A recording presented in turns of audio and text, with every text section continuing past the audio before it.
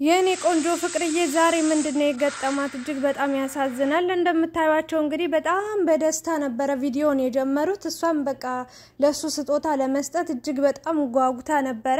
እሱ አይቶት ምን ያህል ደስተኛ ይሆናል ብላ እያሰበች ነበረ። ከዚህ በፊት እንግዲህ የተሰጣቸውን ስጦታ አይታችኋል። ለእሷ የእመቤታችን ስዕል አድኖ ለእሱ ደግሞ ቁርአን ተሰጦት ነበረ።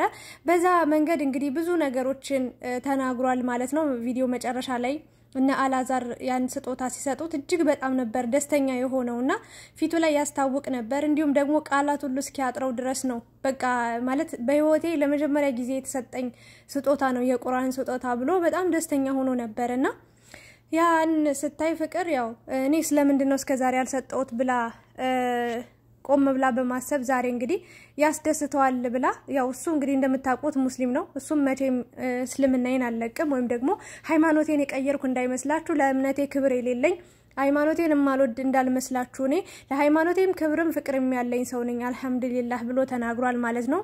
ስለዚህ ዛሬ እንግዲህ ፍቅር እንደምታዩት ይህን ልብስ በሚገርም ሁኔታ ስጦታ ገዝታለት አምጥተዋለች። ያው ቁርአኑን እኔ ነበር መስጠት የነበረብኝ አጋጣሚ ያው ተቀደምኩ እንጂ እኔ ነበር ልሰጠው የፈለግኩትኝ። ስለዚህ ይህኛውም ያው የሃይማኖቱ አንድ አካል ስለሆነ ወይም ደግሞ በሃይማኖታቸው የሚለበስ ልብስ ስለሆነ ለመስገድም በተለይ ጁማ ጁማ ቀን ይለበሳል። ኢትዮጵያ ውስጥ ጀለብያ ነው የሚባለው አይደለ እና እሱን ገዝታ መጣችለት።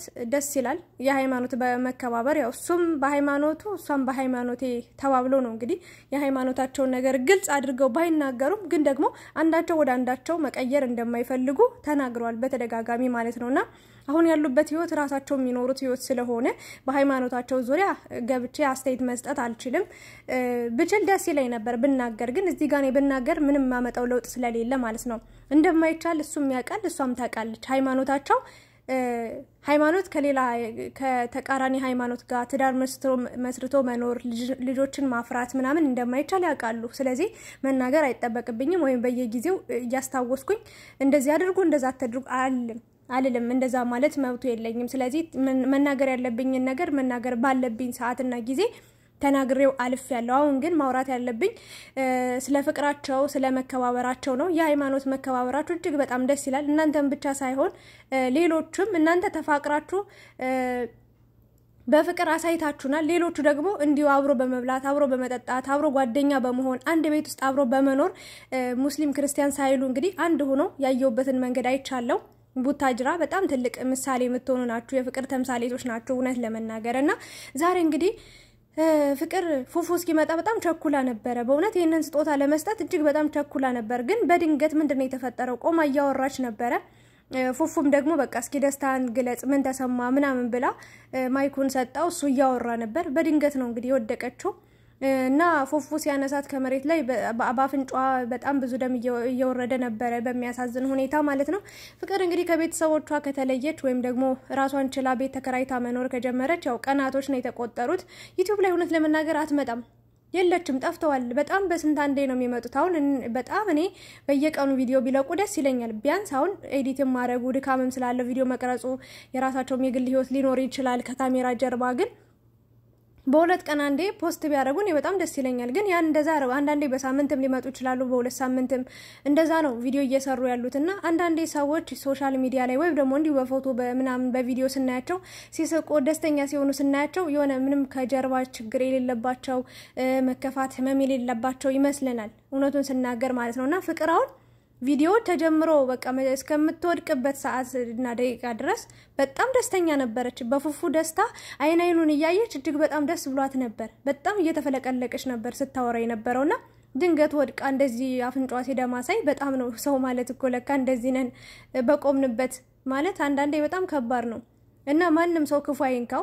ድንገተኛ ነገር በቃ ከድንገተኛ አደጋ ከድንገተኛ ህመም ይሰውረን ሁላችንም ነው የምለው እና ፍቅርዬ እግዚአብሔር አምላክ ምሕረቱን እንዲልክልሽ ምኞቴ ነው። ፉፉም ራሱ በጣም ነው የደነገጠው። በእውነት እሱ ማለት እያወራ ነበር ከቃል በላይ በጣም በቃ ስለ ስጦታው ባለፈውም ስለተሰጠው ስጦታ አሁንም ፍቅር ስላመጣችለት ስጦታ በጣም ደስ ብሎት ከዛ በላይ ደግሞ እንግዲህ ሲገባ ሰላም ሰላም፣ እንዴት ናችሁ የፈንድሻ family ቤተሰቦች ብለው ነው የሚገቡት የሚጀምሩት እና በሙስሊሞች ደግሞ ያ ነገር ደስ አላላቸውም ነበረ። እውነት ለመናገር አሰላሙ አሌይኩም ብለህ ግባ መግቢያ እንደዛ በል እየተባለ ብዙ ጊዜ አስተያየት ሲሰጠው ነበረ። ያው እነሱ ሃይማኖታቸውን ከማክበር ከመውደድ የተነሳ ነው እና ፍቅር ያንን ነገር አላስተዋለችውም ነበር። ፉፉም ያው እንደ ለምዶበት ነው ሰላም እንዴት ናችሁ ብሎ የሚገባው እና አሁን ግን ነጻነት ሰጥቻለሁ እስከ ዛሬም ስላላላልኩ ይቅርታ ብላ እንግዲህ ሰላም አሌይኩም ብሎ እንዲጀምር አድርገዋለች፣ ፈቅዳለታለች። እሱም እንግዲህ ሰላም አሌይኩም ብሎ ነው የጀመረው ዛሬ። ደስ ይላል መከባበራችሁ። ብቻ እናንተ ተዋደዱ፣ እናንተ ክፉ አይንካችሁ፣ እናንተ በቃ ተስማሙ፣ አንድ ሁኑ ሁሌም ቢሆንና ምንም ነገር አይለያችሁና በስጦታው በጣም ደስተኛ ነበር። በዛ ምክንያት እንግዲህ ደስታውን መቆጣጠር አቅቶት የሆነ የሚያወራው ሁሉ እስኪጠፋበት ድረስ ነበርና ስሜቱን ሲገልጽ የነበረው ፍቅርም ደስ ብሏት ነበር። አይን አይኑን እያየች በሱ ደስታ በጣም ነበር የተደሰተችው እና መጨረሻ ላይ ግን የሚያሳዝን ነገር ነው የተፈጠረው። ብቻ ያው ከቤተሰብ መራቅ ራሱ ከባድ ነገር ነው በእውነት። እሷ ደግሞ የመጀመሪያዋ ነው ከእናቷ ቤት ወጣ እንደው ለአንድ ቀን ወይ ለሁለት ቀን ነው አድራ የምታውቀው እንደተናገረችው ሰምታችኋት ከሆነ። ከዛ ውጭ ቤተሰብ ጋር ርቃም አታውቅም። ከቤተሰቡ ከእናቷ ተለይታ አታውቅም። አሁን ግን ብቻዋን ያለችው። even ከዛ ቤት በጣም ትልቅ ነው ቤቱ ምናምን እና ፉፉ ራሱ ቀን ላይ ነው አብሯት ሊሆን የሚችለው የተወሰነ ቀን እንደዛ ሁሌም ሀያ አራት ሰዓት አይገናኙም። ስለዚህ ያ ነገር ያው ብዙ ችግሮችን ሊያመጣባት ይችላል። ብቻ ሰላም አይደለችም። ይቅርታ አድርጉልኝ። መጀመሪያ ላይ ገና ስታወራ ራሱ ድምጿ ትንሽ ቀዝቀዝ ብሎብኝ ነበረ እና ማንንም አይመመው በእውነት እኔ እኔ እንጃ። በተለይ ፍቅር አይመምሽ መቼም ቢሆን እና ብቻ ምህረቱን እንዲልክልሽ ሁላችሁም በጸሎት በዱዓ አስቧት። እንደዚህ ሆና ሳያት እኔ ከዚህ ደስታ ከዚህ ፈገግታ ወደዚህ ተቀይራ ሳያት በጣም አዘንኩኝ። ማለት ለካ አንዳንዴ በስመ አብ ወልድ በጣም አስደንጋጭ ነገር ነበረ። መጨረሻው ቪዲዮ ካሜራውም የተቋረጠው ከዛ በኋላ ነው እና ፍቅር ተሽሎች ነገ እንደምናይሽ ተስፋ እናደርጋለን። ቪዲዮ ስሩልን ከካሜራ ፊት ሳይሆን ከካሜራ ጀርባም ደስተኛ ህይወት ኑሪ ፍቅርዬ። ሰውን ለማስደሰት ሳይሆን ራሽን ለማስደሰት ሞክሪ። ያለሽበት ሁኔታ ከባድ ይመስለኛል፣ ግን ደግሞ ከምንም በላይ ደግሞ እናትሽን ማቅረብ አለብሽ። ከእናትሽ መራቅ የለብሽም። እናት ብልህ ነች፣ በብዙ መንገድ ትረዳናለች እና ለእናትሽ አወያይ። ፉፉ አለ እንደ ፍቅረኛም እንደ ጓደኛም፣ ግን ደግሞ እንደ እናት ሊሆን አይችልም እና ሊሆን ይችላል፣ ግን ደግሞ ከእናት አይደርስም። ከእናት ጋር ላይ አይወዳደርም። ከሱ ያው የምትደብቂው ነገር ይኖራል ሳይሆን ቢያንስ ለእናትሽ ያለውን ችግር ብትናገሪ ምንድነው በሽታውን የደበቀ መድኃኒቱን አያገኝም ይባላል አይደለ? ያለብሽን ችግር የወንሽውን የዋልሽበትን ምናምን ቢያንስ እንደው እዛ ሄደሽ እንኳን ባታዋሪያት በስልክ አውሪ። ከቻልሽ ደግሞ በሳምንት አንዴ በአራቴ ሶስቴ ምናምን እየሄድሽ እናትሽ ጋር በአካል ተገናኝ፣ ፊትሽን ትየው፣ ሁኔታሽን ታንብብ።